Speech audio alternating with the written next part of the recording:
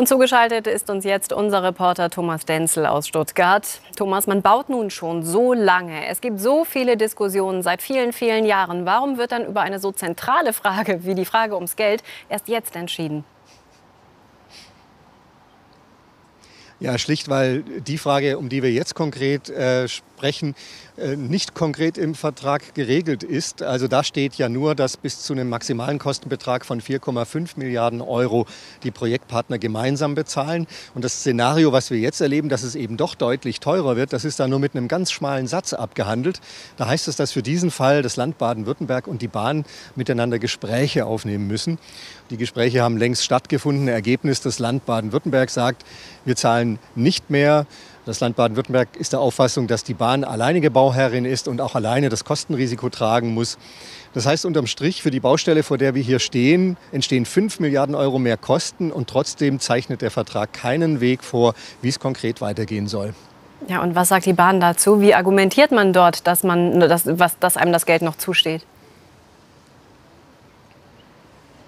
Die Bahn sagt, der Vertrag sei ja ursprünglich mal in einem Geiste der gemeinsamen Verantwortung für das Projekt abgeschlossen worden. Und damit äh, müsse man ja auch die Kosten äh, gemeinsam und das Risiko der Kosten gemeinsam tragen.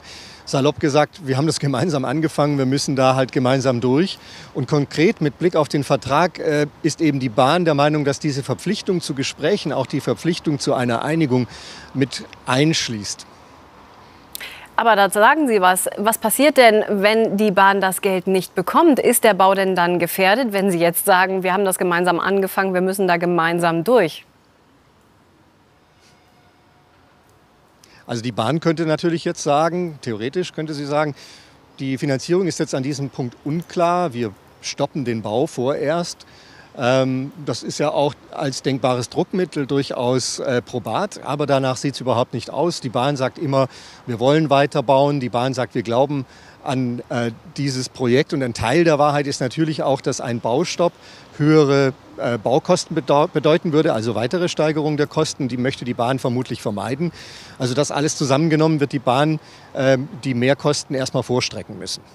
Da wird jetzt die ganze Zeit ums Geld verhandelt. Was bedeutet denn der Ausgang dieses Streits für denjenigen, der es bezahlen muss, nämlich für den Steuerzahler? Ja, am Ende wird es keinen großen Unterschied machen, äh, denn wenn wir schauen, wer da streitet, da streitet die Bahn, die ist ein Staatskonzern. Auf der anderen Seite stehen Institutionen wie das Land Baden-Württemberg und die Stadt Stuttgart. Das heißt Szenario 1, die Bahn muss alles alleine bezahlen an Mehrkosten. Dann kommt dieses Geld aus der Steuerkasse des Bundes. Wenn alle Partner gemeinsam bezahlen, dann kommt mehr Geld oder eben ein Anteil aus Baden-Württemberg. Es gibt da noch einen anderen Faktor, nämlich je länger vor Gericht gestritten wird, desto höher fallen die Anwaltskosten aus und natürlich werden auch die von den Steuerzahlern und Steuerzahlerinnen bezahlt. Aber das sind dann Beträge, die jedenfalls verglichen mit den Milliarden Gesamtkosten nicht so stark ins Gewicht fallen werden. Nun sind wir ja vom Projekt Stuttgart 21 schon gewöhnt, dass es immer etwas länger dauern kann. Aber vielleicht wagen wir doch mal eine zeitliche Analyse. Bis wann ist denn mit einem Urteil da zu rechnen?